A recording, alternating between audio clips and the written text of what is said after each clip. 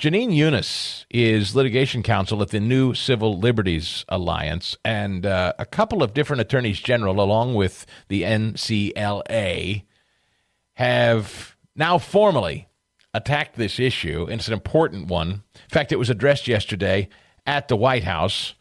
The um, White House press secretary, Pepe Le Pew, asked directly about handing over this information and their role in trying to silence COVID information. Here's what she said.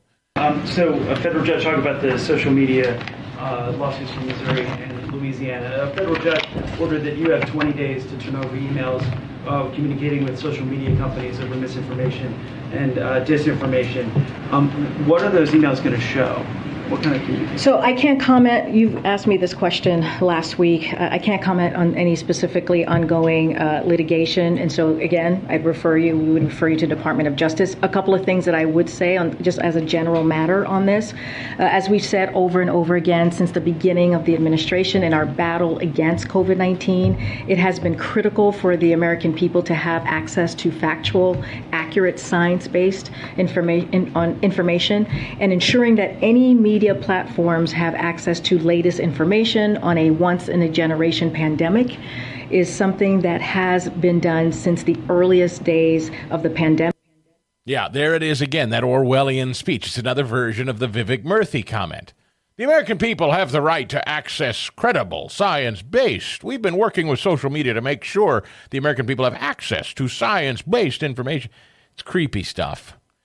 The American people have the right to information, not your version of information. Jenin Younes, we welcome you in. I, I, th- this was creepy to me two years ago when it was coming from Vivek Murthy. We now know they were actively keeping information they didn't want us to see, and they keep insisting yeah. it's for our own good, which is how all good fascists and dictators talk. Right? Good morning. Yeah, yeah. Thank you so much for having me. Um, yeah, it's it's really disturbing. So, as you noted, the extent of the censorship enterprise is much greater than we had ever realized before. Um, we, you know, now know that it spans 11 agencies at least. There may be more that haven't been identified yet, and around 100 federal officials that were involved in directing social media companies to censor people. Uh, and Alex Berenson, one of the more prominent figures who sued Twitter over this already and got uh, through discovery documents that absolutely confirm the White House very specifically by name said, "What are we going to do about him?" Right? Mm-hmm. Yeah, that's right. So there are a couple of people. Naomi Wolf too was specifically targeted um, by the White House, and then uh, two of our clients who were representing in the lawsuit, uh, Jay Bhattacharya and Martin Kulldorff, they were co-authors of the Great Barrington Declaration, which people may have heard of. It um, was written. They're epidemiologists who wrote it in October of 2020 and said that lockdowns were doing more harm than good and should be ended immediately and not ever reinstated. Um, they were immediately targeted by the White House, especially by Francis Collins and Anthony Fauci, who I assume everyone knows. Um, and you know, their uh, Fauci especially said their ideas were dangerous. They needed to be um, silenced, and they were censored extensively on social media. So I'm very uh, interested, shall we say, in what the emails from Fauci and some of the other very high ups at the White House show. Did you to, to be? I want to be fair and clear about this. Was this exclusively under the Biden administration, or did we see some of this under the Trump administration too? That is, these agencies headed by people like Fauci and Collins. Right. It looks as though um, some of this was going back earlier, although the emails that we have now, I, I haven't seen anything from before. Um, well, right. So some of it, you're right, did take place under the uh, former administration. I mean, I haven't seen anything from, you know, Trump or anything like that. Um, it looks right, like, like no indication that the Trump White House yeah. was involved, but his, no, you know, the people no. around him advising yeah. him were. Yeah. That, that's right. Well, and the C, like the CDC um, certainly was doing this before uh, Biden took over, but it, it escalated significantly um, once you know under the new administration. Yeah, like the the um, Alex Berenson stuff suggests that senior uh, you know senior advisors in the White House very specifically and directly interacted with Twitter about him. Right? I mean, that, like the oh, White yeah. House directly got involved. Well, we know now from, and that was actually from discovering his own case, not from ours. Um, he, uh, had been on Twitter, had had communications with Twitter executives where he was assured that he would not be taken off, uh, that he hadn't violated any rules. And then he was permanently suspended just days after um, Fauci singled him out and said Alex Berenson presented a danger for suggesting that some young people don't need to get the vaccine. Um, and then a discovery in his case against Twitter revealed that uh, Twitter employees had been communicating and saying that the White House had tough questions about why Berenson hadn't been kicked off. Mercifully, we had answers, and that word is very important because the uh, government's defense in the, these cases, because this isn't the only one, there are some related ones, has been that the tech companies want to do this, and if the government and tech companies want to work together to accomplish mutual aims, then they can do that. Um, that, in my opinion, is a really uh, uh, not not good interpretation of the First Amendment. Um, the two can't work together anyway to silence uh, the viewpoints of certain people that disagree with the administration or certain viewpoints. Period. And uh, in any event, the inherent power imbalance, you know, where the government has been threatening the companies with um, repercussions if they don't do what the government says, uh, and they have the authority to carry that out, means this is not voluntary on the tech company's part. I want to go back to the Joe Rogan, Mark Zuckerberg audio uh, because I think that's an important component of this too. Jenin Younes is with us, litigation counsel at the New Civil Liberties Alliance, uh, along with the Attorney General of Missouri and the Attorney General of Louisiana, all three entities filing a lawsuit. Uh, blowing the lid off a sprawling federal censorship re- regime. It's it's it's shocking, and you know when you hear Mark Zuckerberg so casually. I, I, think Rogan did an outstanding interview with him because he made Zuckerberg feel so comfortable and admitting something very chilling. Let's listen to this again. I'd love to get your reaction, Jenin. How do you guys handle things when they're a, a big news item that's controversial? Like there was a lot of attention on Twitter during the election because of the Hunter Biden laptop story. The New York yeah, York we Post. have that too. Yeah, so you guys censored that as well?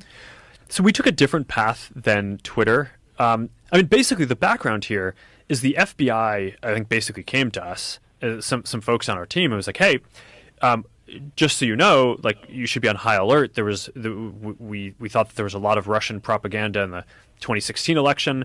We have it on notice that basically there's about to be some kind of dump of of um, uh, that's similar to that. So just be vigilant. So our protocol is different from Twitter's. What Twitter did is they said you can't share this at all. Um, we didn't do that. What, what, we do is we have um, if something is reported to us as potentially um, misinformation, important misinformation, we we also have this third party fact checking program because we don't want to be deciding what's true and false. And no, no, no. For the, I think it was five or seven days when it was basically being um, being determined whether it was false, um, the distribution on Facebook was decreased, but people were still allowed to share it. So you could still share it, you could still consume it. So when um, you say the distribution is decreased, it, it, got shared. It, how does that work? It basically the ranking in newsfeed was a little bit less. So fewer people saw it than would have otherwise. So it definitely by what percentage? I, I don't know off the top of my head, but it's it's it's meaningful. But I mean, but basically a um yeah so you get the point uh, oh the distribution was much less like how much less asks rogan well most most people so basically banning it from sight is basically what zuckerberg yeah. but uh, and i know this is related to hunter biden but i think you could apply the very same thing to covid could you not janine yeah, you can. And actually, this is part of the lawsuit, although we're not representing plaintiffs on that issue. But the Hunter Biden laptop story and the suppression of it uh, at the government's behest is part of the lawsuit. Um, yeah, it's really quite astonishing. I mean, this is uh, it, it's really the government, um, you know, a government agency interfering in an election and the election results. We know that it may very well have been differently or come out differently if uh, if that story hadn't been censored. And I, you know, I'm personally not a Trump person, but I like believe in fair elections. so this is a bit of a, a novel thought. Yeah. Well, yeah. so, but we can assume then, I mean, if Zuckerberg is this candid, oh, yeah, the FBI came to us and said, hey, we think you've got some misinformation on your hands. You need to do something about it. And we yeah. dutifully complied. I mean, we can only apply and assume that that same strategy uh, was in effect and employed with COVID. Oh yeah, well yeah, and we know we know now that it was. Um, there was there is some speculation that this was a few days before we were releasing the discovery. There was some um, talk that maybe Zuckerberg was trying to get out in front of that um, because we were the judge in the case also granted discovery on um, third party discovery, so we were allowed to get documents and ask questions of up to five tech companies, and we obviously chose you know Twitter, Facebook, uh, YouTube, Google, and LinkedIn. Um, so they were giving us documents as well. And that's actually how we learned about the involvement of more agencies than we had realized. The government wasn't forthcoming about that. They uh, told us only about a limited number, and then we found out there were more based on the, the discovery from the tech companies. What ultimately is the legal remedy here? Do you think? I mean, in, in, a in a just, open, free society that values the First Amendment and the government not censoring people, I, I'm sure the defense will be, "Hey, listen, we're a private company. We're under no obligation to do anything. We can do whatever we want, and if we want to coordinate and comply with government requests, we can. So what? What would you say about that legally?" Well, yeah, right. I mean, that um, they may the tech companies may take that approach. However the First Amendment law in this area is not clear, mainly because social media is pretty new, and we ha- we don't have a lot of cases like this. We don't have any cases like this actually. So it's a little fuzzy, like exactly how these principles apply. It's my position that the government, you know, using tech companies, even if they're they both want to be doing this, to suppress a cer- certain perspectives among Americans is a First Amendment violation. Um, so you're right that the tech companies may say that. The government will certainly say that, and that's what they've been saying. The tech companies want to do this. They can they can work with us. We both we both have the same goals. Um, the tech companies might not want to do that because under that theory, then they could be considered government actors and they could be sued. So they may want to say, um, you know, we were coerced. This was not voluntary. I, well, it we'll sounds see. to me like Z- Zuckerberg basically says we were, you know, whipped little pups. The FBI came to us and told us to yeah. do something. How, you know, who are we to say no to the FBI? Is kind of the way yeah. Zuckerberg sounded. Yeah, and that's how these emails. So, you know, the the discovery that we released last week, I think it was. Um, that's how these emails read. You know, it's clear that the people at the tech companies feel themselves to be in a subservient position to the government. They have to do what the government tells them. Um, there are texts from Jen Easterly in DHS, because DHS, it turns out, was much more extensively involved in this than we had realized, um, saying to another uh, employee in the CISA, the cybersecurity subcomponent of DHS, we have to get these tech companies to overcome their hesitancy to work with the government. Um, you know, that means they didn't want to be working with the government. And yeah. the, the mercifully email I cited to earlier in the Alex Berenson case, I mean, this is obviously the government coercing these companies, and this should be, I mean, I believe it will be a groundbreaking First Amendment case. I hope you're right. Um, I, I watch with eager anticipation. The attorneys general of Louisiana and Missouri, uh, part of this as well. Is is that important? Is that significant? Yeah, well, and uh, to be clear, also the Missouri, the Louis, sorry, the Missouri Attorney General is leading the case, so he's, um, you know, he he's a great attorney. He's doing a great job. Um, they are suing on behalf of the citizens of their states.